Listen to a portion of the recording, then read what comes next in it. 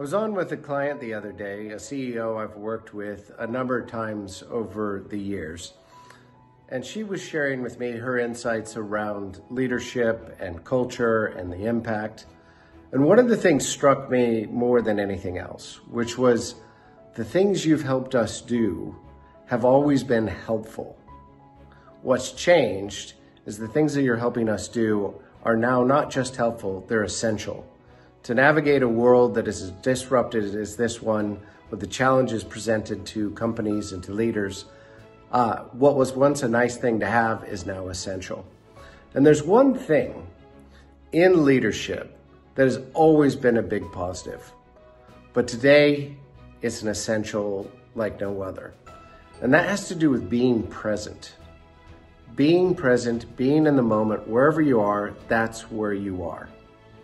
And I think about over the years, leaders from sports to, to corporations, from Michael Jordan to Satya Nadella. The defining characteristic in the leaders that people talk about is their ability to be exactly where they are, to be present with people, with a topic, with ideas. Now, this power of presence, if I think about what Michael Jordan said, which is, why would I worry about a shot that I haven't taken yet? Uh, if we look at Bobby Charlton in football, he said a busy mind equals an empty net, meaning if your mind is busy, you're not scoring goals.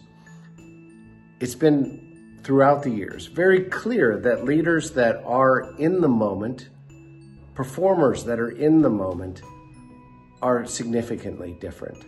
Now, in a world where there are a million and one distractions from your mobile phone to the list of emails, but also your concerns about the past or your concerns about where you're going and what might come up can steal you from that moment.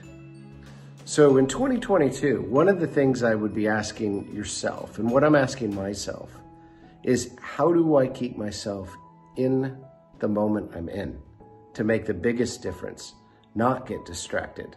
How, how do I understand what are the things that could potentially distract me and remove those from my field of play. If you do that, that's what creates championships in sports. That's what creates outperformance in organizations. More than ever, being here now, being in the moment, is a key to success in a world that is constantly trying to take you out of that moment. I wish you the best of luck.